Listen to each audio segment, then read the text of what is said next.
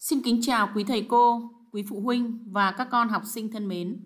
Hôm nay chúng mình học tiếng Việt lớp 2 mới, đề thi cuối học kỳ 2, đề 15. Chúng mình làm hai bài, bài kiểm tra đọc 10 điểm, đọc thành tiếng 4 điểm, đọc hiểu 6 điểm, cộng lại là 10 điểm. Bài kiểm tra viết, chính tả 4 điểm, tập làm văn 6 điểm, cộng lại là 10 điểm.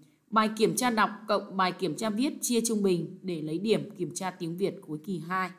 Bây giờ chúng mình làm bài kiểm tra đọc. 1. Đọc thành tiếng.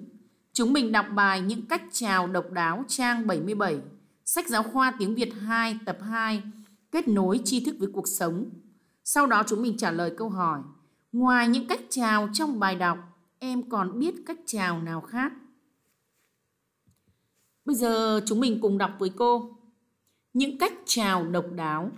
Trên thế giới có những cách chào phổ biến như bắt tay, vẫy tay và cúi chào.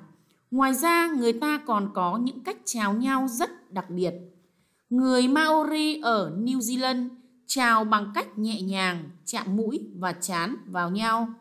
Người Ấn Độ thì chắp hai tay trước ngực kèm theo một cái cúi đầu. Nhiều người ở Mỹ thì chào bằng cách nắm bàn tay lại và đấm nhẹ vào nắm tay người kia. Còn người Zimbabwe lại chào theo cách truyền thống là vỗ tay. Mỗi cách chào thể hiện một nét riêng trong giao tiếp của người dân ở từng nước. Còn em, em chào bạn bằng cách nào? Hoàng Anh tổng hợp. Bây giờ chúng mình trả lời câu hỏi. Ngoài những cách chào trong bài đọc, em còn biết cách chào nào khác? À, ví dụ, ngoài những cách chào trong bài đọc, em còn biết cách chào khác như là khoanh tay, nói lời chào, vỗ bàn tay của mình vào bàn tay của người khác, hút nhẹ vai của mình vào vai của người khác, hô và gọi tên của người mình muốn chào, vân vân. Hai, đọc hiểu. Cô mời chúng mình đọc cùng cô bài Anh hùng Phan Đình Giót Mùa đông năm 1953, đơn vị Anh được lệnh tham gia chiến dịch Điện Biên Phủ. Các chiến sĩ đại đội 58 lao lên mở đường. Phan Đình Giót đánh quả thứ 9 thì bị thương ở đùi nhưng vẫn sung phong đánh quả tiếp theo. Lòng căm thù quân giặc lên cao, Phan Đình Giót lao lên đánh liên tiếp hai quả nữa, phá toang hàng rào cuối cùng mở thông đường để đồng đội lên đánh sập lô cốt đầu tiên. Lợi dụng thời cơ địch hoang mang, anh lao lên bám chắc lô cốt số 2, ném thủ pháo, bắn, kiềm chế cho đơn vị tiến lên. Anh bị thương ở vai và đùi, máu chảy rất nhiều. Thế nhưng bất ngờ từ hỏa lực lô cốt số 3 của địch bắn rất mạnh vào đội hình của ta. Anh đã dùng hết sức còn lại nâng tiểu liên lên, bắn mạnh vào lỗ châu mai và hét to, quyết hy sinh vì đảng, vì dân! Rồi dướn người, lấy đà, lao cả tấm ngực thanh xuân vào bịt kín lỗ châu mai địch. Toàn đơn vị ảo ạt tiêu diệt gọn cứ điểm him lam, giành thắng lợi. Nguyễn thùy dương. Bài đọc nói về anh hùng phan đình giót. Bây giờ chúng mình trả lời câu hỏi. Câu hỏi 1. Phan Đình Giót bị thương ở đùi khi nào? A. Khi anh sung phong đánh quả thứ 9. B. Khi anh sung phong đánh quả thứ 19. C.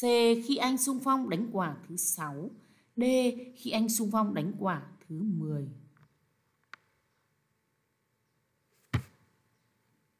Câu trả lời đúng là A. Phan Đình Giót đánh quả thứ 9 thì bị thương ở đùi. Câu 2. Phan Đình Giót lao lên phá toang hàng rào cuối cùng để làm gì? A. Để tiêu diệt trận địa của giặc. B. Để làm nổ căn cứ địa của giặc. C. Để đồng đội đánh sập lô cốt đầu của giặc. D. Để đe dọa giặc không cho giặc tiến lên. Chúng mình đọc thầm lại bài để chúng mình suy nghĩ trả lời. Phan Đình Giót lao lên đánh liên tiếp hai quả nữa, phá toang hàng rào cuối cùng, mở thông đường để đồng đội lên đánh sập lô cốt đầu đầu cầu. Vậy, đáp án đúng là đáp án C.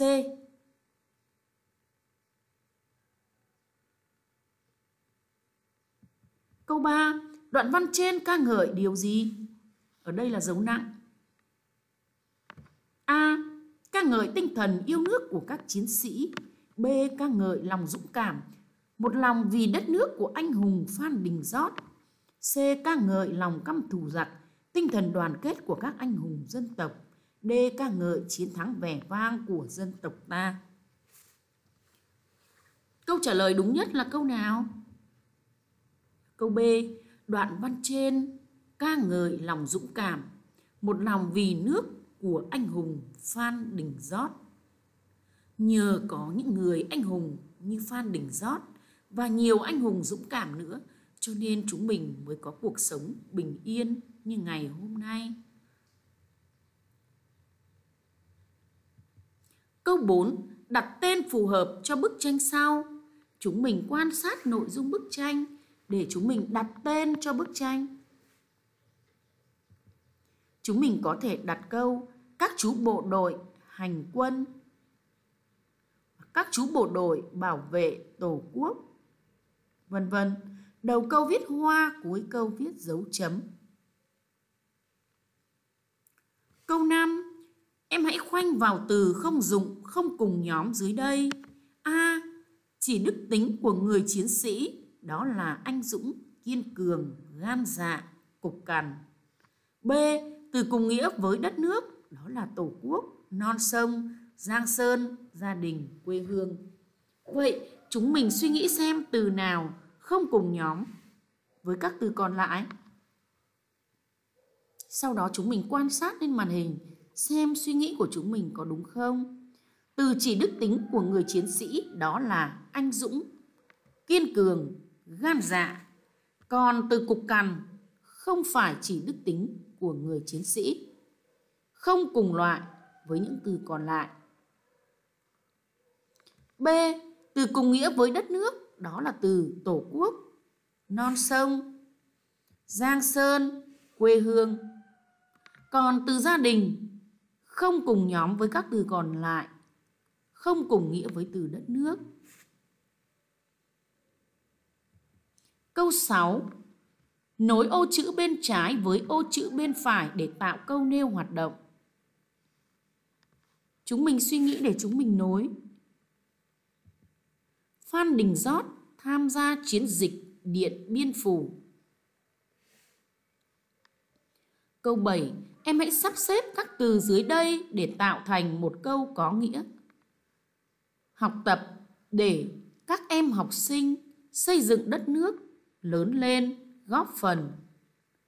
Vậy chúng mình sẽ sắp xếp như thế nào? Chúng mình suy nghĩ.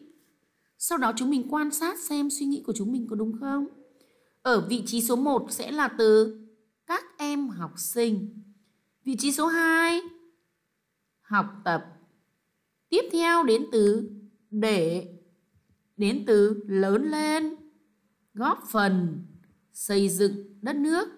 Bây giờ chúng mình sắp xếp thành câu. Các em học sinh học tập để lớn lên góp phần xây dựng đất nước. Đầu câu viết hoa và cuối câu viết dấu chấm.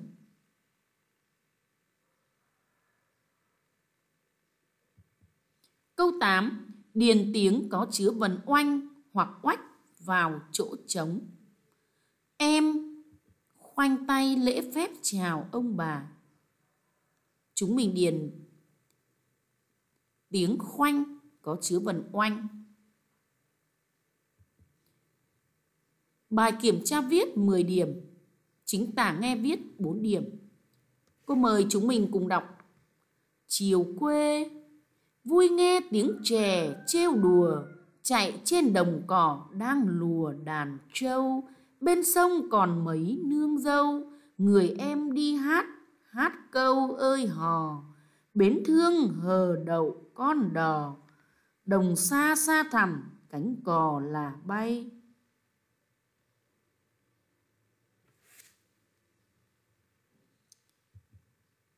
Chúng mình luyện viết bài vào vở ô ly, còn khi thi, chúng mình sẽ nghe cô giáo đọc để chúng mình viết vào bài thi.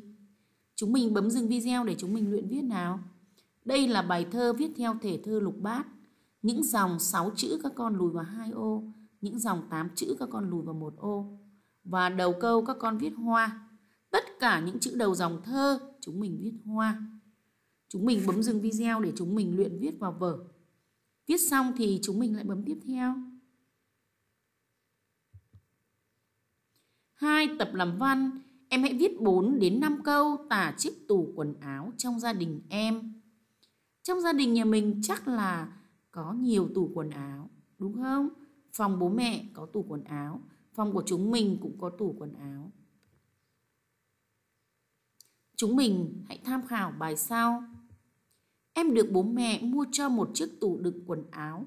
Tủ được làm bằng nhựa cứng, màu hồng, cao khoảng hơn 1 mét. Tủ có 5 ngăn, một ngăn dài bên phải treo quần áo, bốn ngăn nhỏ bên trái là ngăn kéo để xếp gọn quần áo vào đó. Chiếc tủ như ngôi nhà để chứa rất nhiều bộ quần áo của em. Em rất thích chiếc tủ quần áo mà bố mẹ đã mua cho em. Dựa vào bài tham khảo, dựa vào bài yêu cầu và chúng mình quan sát chiếc tủ quần áo của chúng mình để chúng mình viết theo sự sáng tạo của chúng mình. Các bạn bấm dừng video để chúng mình luyện viết vào vở. Còn khi thi thì chúng mình sẽ viết vào bài thi. Viết xong thì chúng mình lại bấm tiếp theo. Bài học của chúng mình đến đây là hết rồi. Các bạn hãy bấm like và nút đăng ký kênh để ủng hộ kênh của cô Lan và để nhận được thêm nhiều video nữa của cô Lan. Các bạn có thể bấm vào trang YouTube cô Lan Hải Bối, bấm vào danh sách phát, bấm vào bộ video mà mình muốn xem. Bộ video toán, bộ video tiếng Việt, bộ video đề thi, bộ video luyện chữ đẹp, bộ video bảng cộng, có nhớ bằng trừ có nhớ, bộ video bảng nhân bảng chia, vân vân. Xin chào và hẹn gặp lại.